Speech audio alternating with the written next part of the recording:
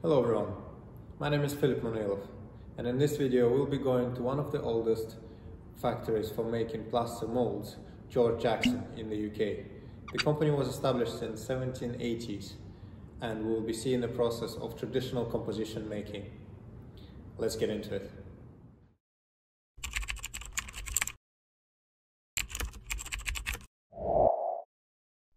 George Jackson was the pioneer in the production of composition embellishments and fibrous plaster, and they still hold molds till today that were used in the historic decorations of royal palaces, museums, and stately homes.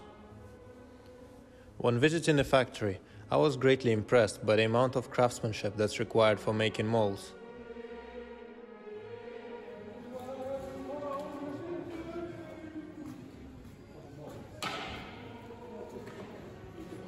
The factory has an incredible collection of over 11,000 reverse cut hardwood molds that is one of the largest in the world. And now, let's see the traditional way of composition making.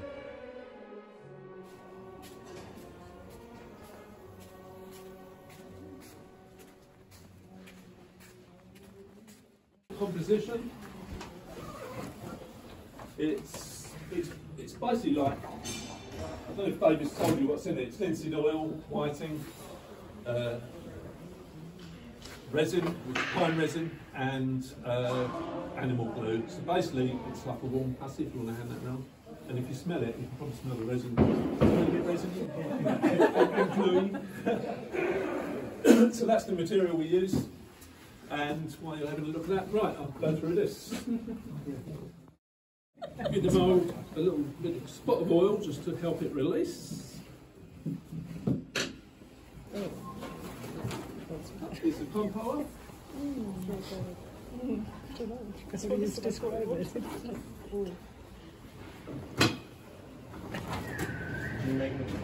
Yeah, we're making it from the constituents. Yeah. Um, yeah. Uh, Pearl glue, which is animal glue, and pine resin. That's, yeah, it's, it's heated. That's, that's glue. That's, that's pine resin. Pearl glue. What is it? Uh, animal hide rendered down.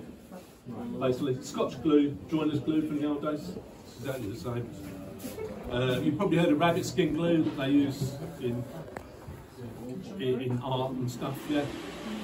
Basically, it's the same, but uh, I quite like it. It's quite a nice smell, actually. Right, so, so going to roll the compo into a.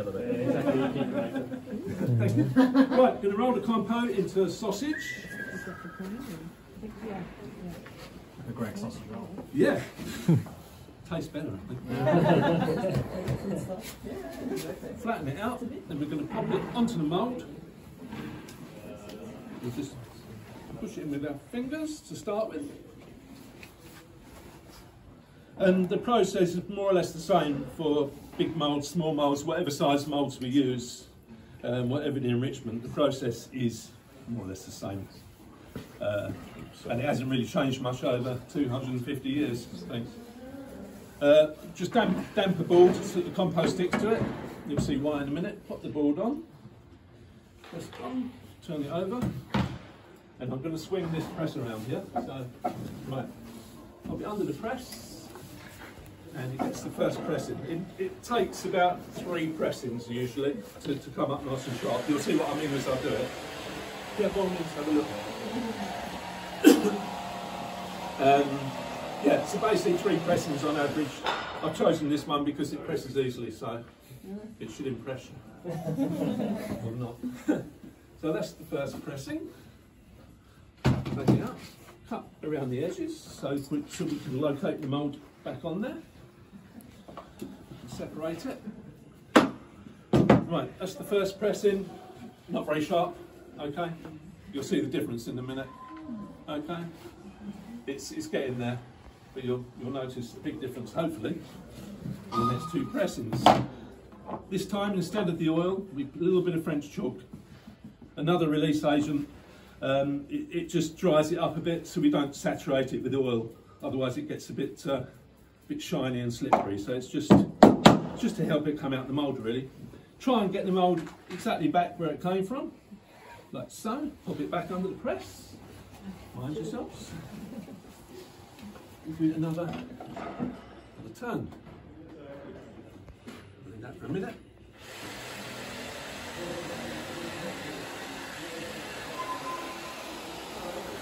Any questions?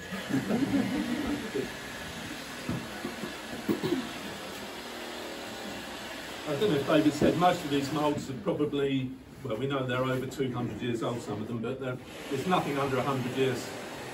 Um, so we're looking at some, some age and some wear, but they've, uh, they've lasted pretty well considering, I suppose. Couple. Hopefully this time we'll see a bit of difference. All the things over there, they're all moulds. All those things. Yeah, moulds there. We'll show you like there's moulds in there. There's moulds there. There's moulds around the back. We've got around well, the, the numbers differ, but around twenty thousand. Separate it again. This time getting sharper. If your memories are any good. Okay. If anybody wants to stop at any time to take a photo or anything, mm-hmm. sharper. Do we agree? Then we give it one more oil this time just to finish it. So yeah, sometimes things take five or six times to press them. Uh, three, three minimum. So this is uh, this is an easy one. Pop it back.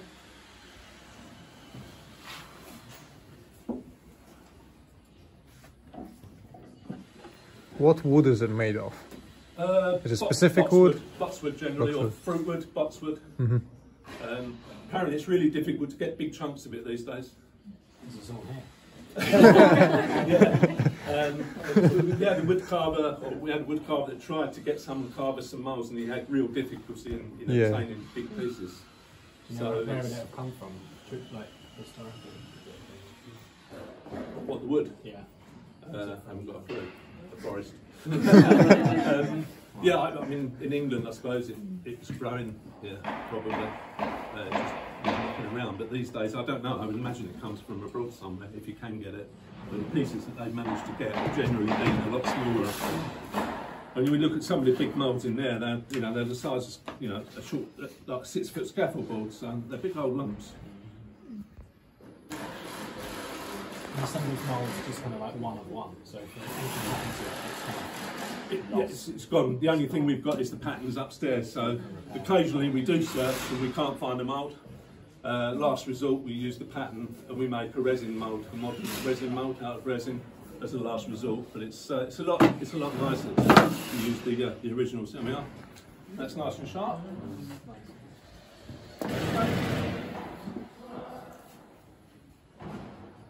So you get to that stage, that gets put under a piece of plastic.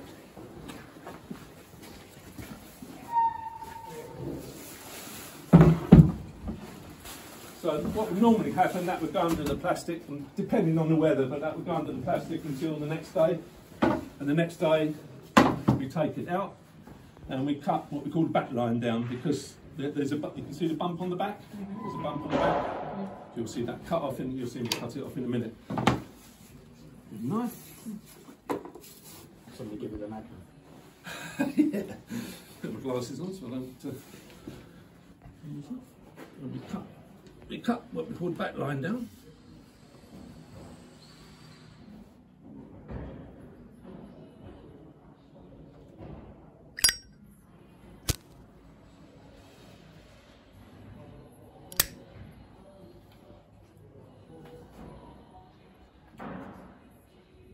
Is that already mostly set then? Yeah, it's stiffened up a bit. It's got, it's got a lot stiffer than uh, I thought it would actually. then we pop over to. I'm going to go over there.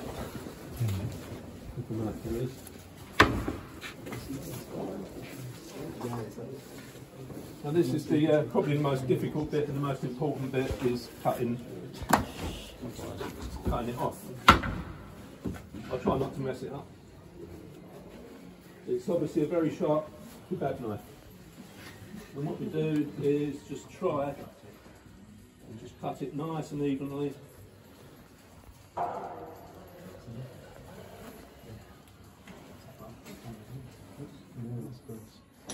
keep quiet here because I'm concentrating. Believe it or not, there we go. That then comes back over here. Somewhere.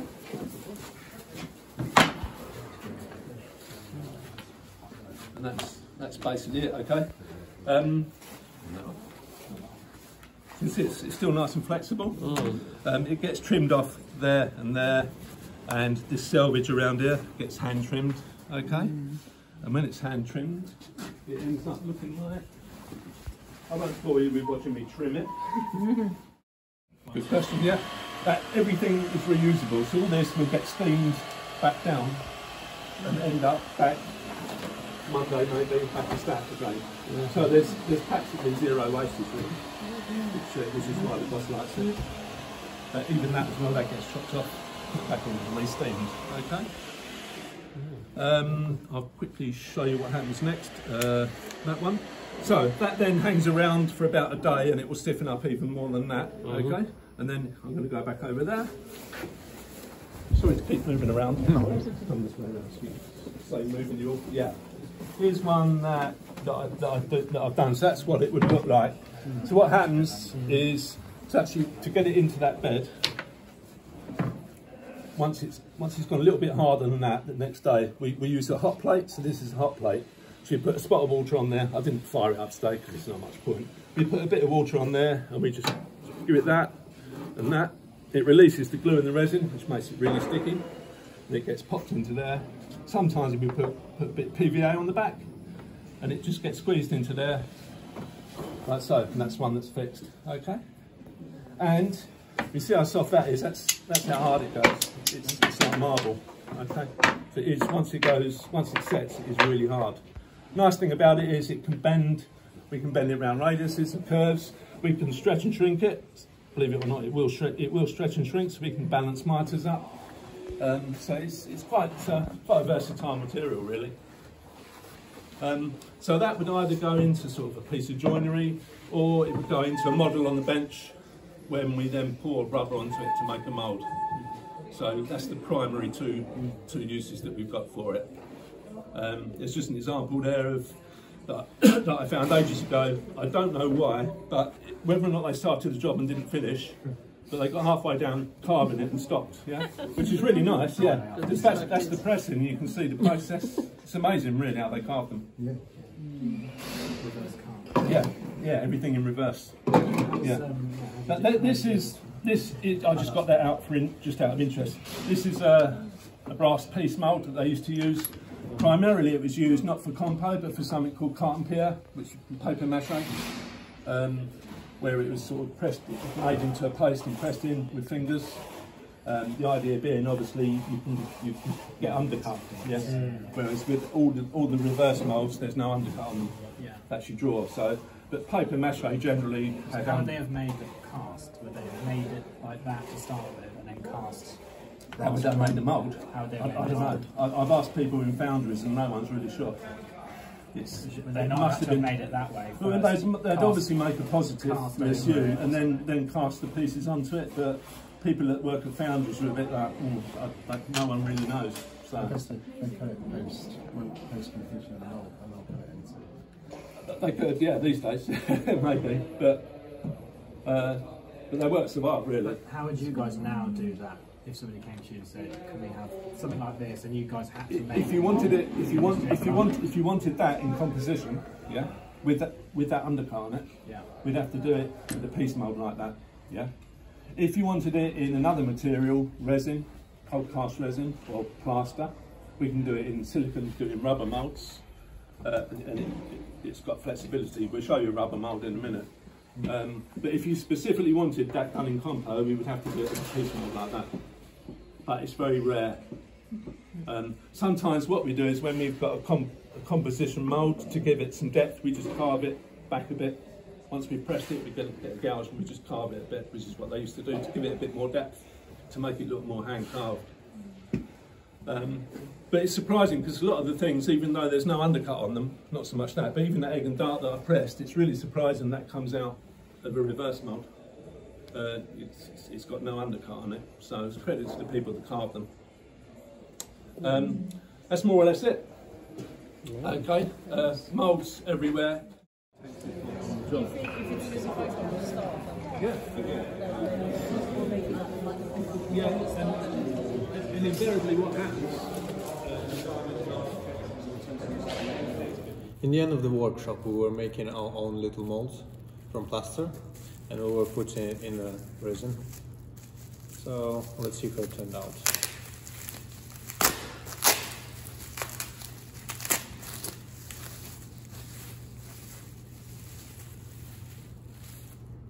So there it is. There's the mold that I was making.